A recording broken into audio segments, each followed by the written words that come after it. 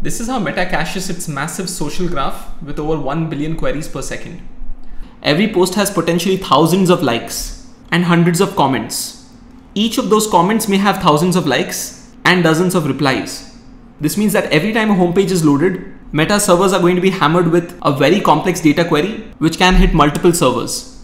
To speed this up, Meta uses two strategies. One is to model the data as a graph, where data relevant to a post are stored as objects with a direct relation to the original post. The ideal database for graph queries is a graph database, but Meta decided against it since they had in-house expertise on MySQL and experimenting with a new data store in 2013 would be quite risky. So Meta decided to build an in-memory graph store which runs on their servers and behaves like a graph database but is backed entirely by MySQL. Since this graph store is mostly a cache, Meta decided to use Memcached which is an open source and highly scalable caching solution designed again by Facebook.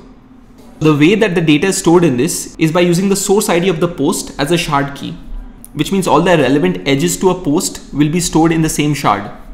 And fetching the number of counts or likes for a post is like doing a count star query. Finally, if a post goes viral, let's say Shah Rukh Khan posts about his latest release and Amitabh Bachchan congratulates them, that post is going to be very hot and cannot be contained in a single shard.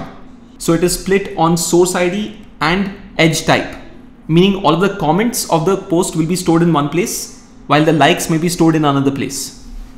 To avoid a single point of failure, Memcached is deployed across regions and any changes made to one region are broadcasted to other regions using a change data capture solution.